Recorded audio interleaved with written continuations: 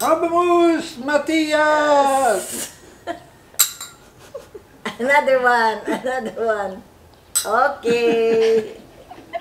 Congrats. That's it, I guess.